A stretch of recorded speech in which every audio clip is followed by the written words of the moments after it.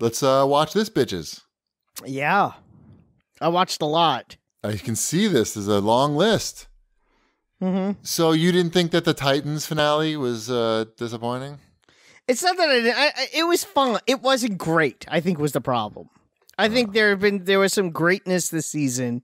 Yes. Uh, generally speaking, it was a it was overall a great season. yes. So when it doesn't end on a you know on a high note of an episode, Yeah. it it's always going to feel more disappointing than it really was. Fine. I don't. We don't need to say anything more about Titans, but I thought that I thought that it was it was a pretty lame episode. It wasn't great, and that's the problem. I don't think it was the worst episode. I I had fun making fun of it with Mrs. Cheapy while we were watching it. So I made fun of it. I made fun of it to you on the the, the text message. right. How Mm-hmm. come nobody wears belts on that show? Or the men do not wear belts in dress situations? Oh, I don't know. Do they at least wear undershirts? I couldn't tell, but like Okay. like Hawk, you know Hawk. Yes, He's supposed to the be worst like- character on the show. Yes, Right. He know he dresses. You know, he's not like a, a fashionable guy. He's like the opposite of that. Yeah, he's know, a slob. blue collar slob, I guess you would say, Mhm. um, and and dresses as you would expect. But they had some in the finale. There's a special event that they go to, and now he's dressed like, you know, like a stylist uh, that he has as a personal stylist, including no belt, like dress pants with no belt, which is like, you know, only a stylist would tell you to do that in the, in a situation like this. It just it's ridiculous. Anyway. What else we have? Oh, how about the the Irishman? Anybody watch the Irishman on Uh, Netflix? you, you know, the thing is, you know, it, even though I was stuck with the family in the house, I can't watch The Irishman. Too with violent. The family. It's too violent, and it's three and a half hours long. So I So saw I, saw a tweet where a guy broke broke it down into four episodes and told you like the timestamps to. I saw that too. Is that what I need to do? Should I just do that? Well, we watched the we went to the first timestamp Okay, and then we decided we probably don't need to watch any more of the movie. gotcha. Wait, wait, wait, you're saying that it's not like Marvel movie good? I'm saying that it looks like they don't even have like the CG at the level of the Marvel movies because they try to like de-age all the yes, actors. that I know. Mhm. and it they eh, it's very distracting to me and like at some points like joe pesci's head looks like it's not really attached to his neck it looks like uh like jib jab you know like those mm. fake cards those internet greeting cards Yep. and like De Niro, I guess and I, I guess they changed De Niro's eye color in the movie. I knew noticed that his eyes looked really weird, and then I read that they changed his eye color. It's just not necessary. And then you wonder if even the movie's necessary because you've seen a lot of these movies with these actors before. So I'd be surprised if we watched the last Three the, hours. the rest of the three hours of the movie. Yeah, it didn't do much for me. And and Al Pacino as Jimmy Hoffa, I mean, he I only made it for maybe he was in about five minutes of what we saw. I don't think I could take much more of that. It's he's the like the hoo ha guy from Scent of a Woman, but Jimmy Hoffa. He is the hoo ha guy from Sin of No, but I mean he's like yelling like that guy. Like it's just like he's acting like that guy. Yeah, I kept waiting him to say she's or she's, she's got a great ass. Mm-hmm. Like what's happening? These guys, yeah, I mean, it must have been a lot of money for all of them. I watched some movies. That's not that wasn't in that movie. No, that's what I'm saying. Oh. I was moving us along. Okay, go. What else you got? You know what was surprisingly funny? Like, legitimately, I laughed out loud like three times. Three is not a lot. Oh, f- when I tell you what the movie is, you'll be like, wow, that's impressive. Was Angry Birds 2. Oh, I thought you were gonna say Schindler's List. Yeah. I watched Angry Birds 2. Elliot really wanted to see it. Like, he's been begging for it. And it Uh-huh. was cheap. So I bought it for him because he helped me clean up the dead bird in the backyard. And. And uh, so we watched Angry Birds 2, and there were some parts in it where I'm like, "This is surprisingly funny." Did you use the dead bird as a prop while you were watching the movie? to Well, I did, yeah. We held it over, like, look, it's like real live Angry Birds, and then we Ripped it at the TV. Yeah. mm. Um. No, it was. It's cute. It's a. It's you know. It's more Angry Birds. But if you have like, if you, if you're forced to watch a movie with the kids, and it's got to be something you want something different, new, Yep. I would actually recommend Angry Birds 2. Can it, can I start at the second one, or do I need to It's know what happened in the first one? you kind of need to know what happened in the first one for it to make any sense. but it's So- better than the so 1st I'm one. Into, I'm into Irishman levels of length. You might actually no, you're uh, you're actually still less.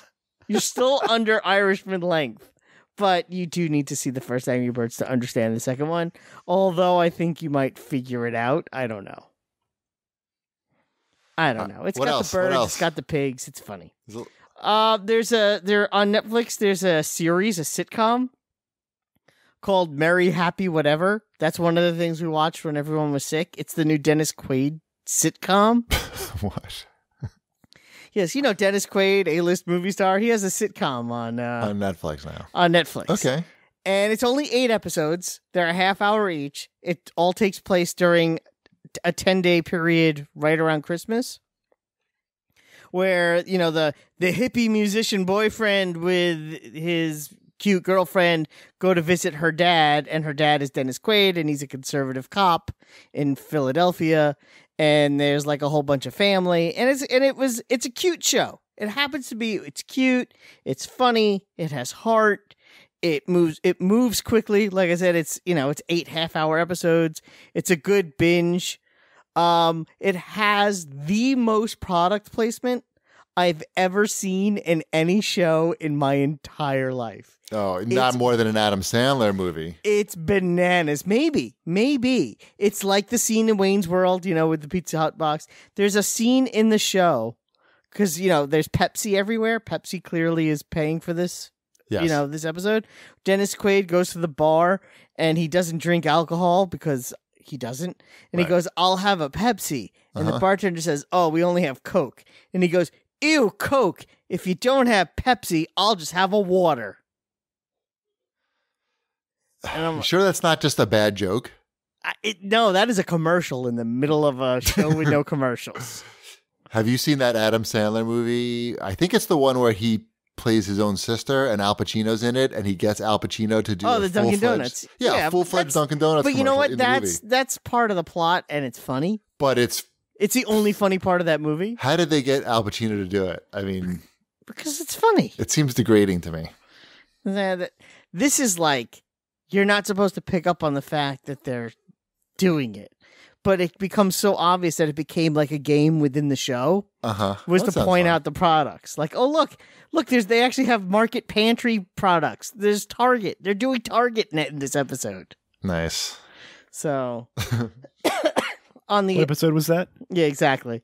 You would like it. You shipwreck. You would like this show. It's a very shipwreck show.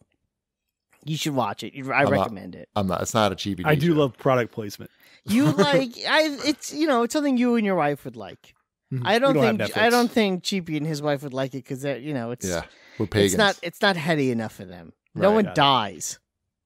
Right. So um more- I yeah. did, you know what you would like Cheapy though is Brittany runs a marathon. Britney That's Spears. a movie. No, um Oh. what's her name? Oh, I forgot the Jillian Bell. That's the actress. She's uh an overweight woman living in Manhattan and she, you know, doesn't know what she's going to do with her life and she decides to start running to like this. just Why clear her would I like and- this? Why would I like this? because about someone who gets their life in order and gets into shape and I it's a like cute that. comedy and it's yeah, huh? How much would like karate? How much karate is in that? There's no karate in it. It's just a it's a small independent movie with no special effects. Uh, uh, and uh, how much sex is in it? There's there is a sex scene or two, Okay. but no like hardcore sex scenes. well, um, I would imagine there wouldn't Yeah, just like basic, basic sex be scenes. missionary. Is Yeah, that what you're saying? lots of missionary. That was the original title. Lots of missionary. No, Uh-huh. it's a cute movie. You would like it. It's on Amazon Prime. Oh, okay. Mm-hmm. So go watch that. What did you watch, Shipwreck? I, I went to see uh, Disney Junior Holiday Party. How was that? It, it was it was fun. It had all my Disney Junior characters that I know and love. Like, singing, Like Mickey like Mouse? like like uh, Minnie Mouse was there. Yes, Mhm. we got to meet Minnie Mouse at the after party. Nice. Um, her and Mickey and Santa were all there.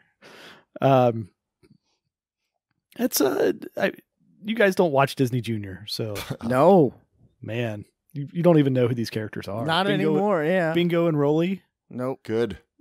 th- that they they are the puppy dog pals. They uh they sing they fill the Jewish portion of the show. Oh, they're Jewish. Uh, uh maybe Well, for the show, they are. for They're They- they, they are have- Jewish interested. they sing about latkes. They got to make the latkes. Mm, I love latkes, so I'm on board. And then uh I, all you guys do is sing about the dreidel, right? Like that's the whole holiday. Pretty Yeah, much. kind of, yeah. Yeah, Gifts. yeah. They they sing the dreidel song as well Nice. as well. Sounds like they've got everything covered. Uh huh. Those are the bases. Yeah. Potatoes and dreidels. I don't know. Dis- Disney puts on good shows, so They know how to. if if you have kids of the appropriate age and and they watch Disney Junior, uh, they they play all the hits as well as Christmas music. I'm trying to do like Choo Choo Soul. Do they still have that? no, no. Sorry. Uh, S- you, you said you said that like I was offending you. yeah. no, Well, that is that's that is that is really old. Like Sofia is the oldest that you would go with. I am familiar with Sofia the first. Doc, yeah. Doc McStuffins. Yep, I'm familiar. Those with are the Doc two Mc- characters in the show whose shows have been canceled. Hmm. So, Hmm. um, yeah. You Goofy was there. You like you know him, I know Goofy. He plays Okay. sports. the Muppet Babies, but not the Muppet Babies you know. Mm-hmm. Yes. Yep. It's a good time. Excellent. should check it out if it comes to a city New Year. Oh, I'm glad I'm. Don't have to check that out. May- Maybe it's playing on Broadway. Mm. Yep.